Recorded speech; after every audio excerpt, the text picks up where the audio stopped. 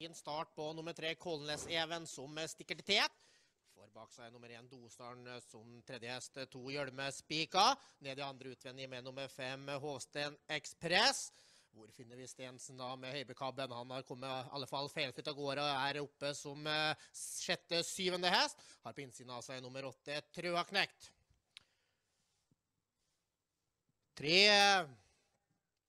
Kolnes-Even ser den første langsiden først. Har den Osaren. Høytomt prøver å lirke ut Osaren i et spor.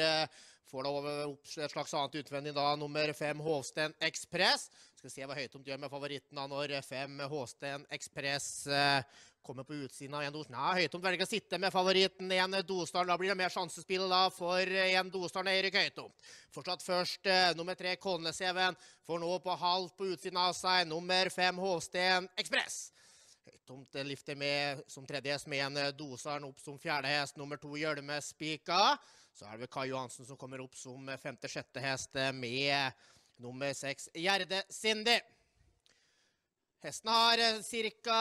en runde igjen å trave. Fortsatt med nummer tre Kolnes Even. Har nå press av nummer fem Håsten Ekspress. Høytont han lirker ut en Dostaren opp som fjerde. Seks Gjerde Sindi.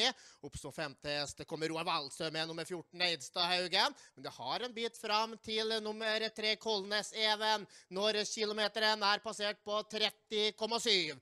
Fortsatt først tre Kolnes Even ut på den siste borte langsiden. Nå er det knallhard massasje av nummer fem Hovsten Ekspress.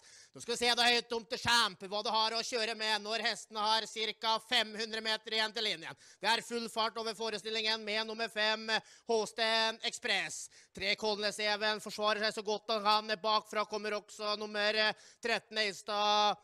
Haugsvarten på innsiden av den sitter Kai Johansen med nummer seks i Gjerde Sindi. Det er vel fordel for fem Håsten Ekspress som etter hvert skal se oppløpet først.